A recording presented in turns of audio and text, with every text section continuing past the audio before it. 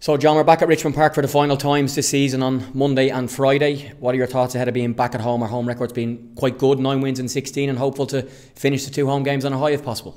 Yeah, of course. I think um, I think we know everything that's up for grabs. Obviously, Sligo on the Monday, and then um, Shamrock Rovers on the on the Friday. Two big games for us. You know, six points up for grabs, and hopefully we're looking at trying to get maximum points if, if possible and give ourselves the best chance of you know finishing in, in the European spots or, or better. Yeah, the connection between the players, the staff and the supporters all over the country, but at home here has been really special. We'll have two sellouts for the for the games on Monday and Friday, and the atmosphere has been class for the players, and hopefully they'll they'll use that to hopefully their home advantage.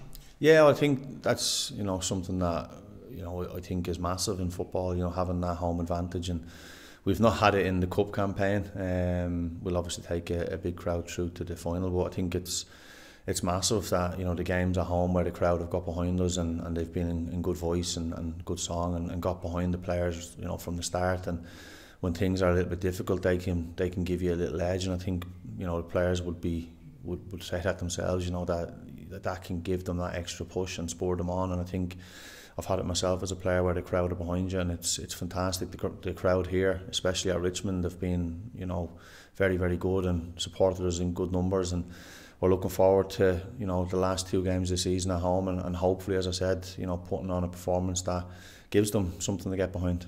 And just lastly, it's a unique place to play in and to coach in as well. The fans are so tight to the pitch. The home dugout, away dugout are so tight to the pitch as well. You're, you're effectively kicking every ball on the sideline too. So it's a unique place to, to coach and manage in, but a special one at the same time. Yeah, well, it makes the pitch feel a little bit tighter and a little bit smaller than it probably actually is. You know, I think um, the pitch is, is quite a big pitch. It just doesn't feel like that. Um, you know, with the with the stands and the terrace right on top of you, so um, it can be quite. Um, you know, quite an illusion for the players when they go out. They feel like it's a tight pitch, but it's not. And I think, you know, it's it's it's always the the nice grounds to play in. I think the ones where the crowd are on top of you and you can you can feel it, and um, and I think they can feel it as well because they, they feel like they're right on top of the action.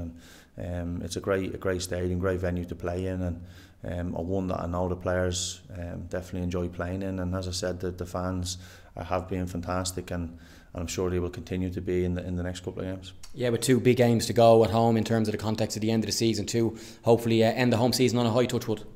That's the plan, Jay. That's the plan. Um, obviously, you can never guarantee anything in football, but I think um, we'll certainly go out and, and try our best, and, and we'll do what we can to try and get the results that we we need to get us again, as I keep saying, to get us where we need to be. And um, you know, if other results go your way elsewhere, you just never know.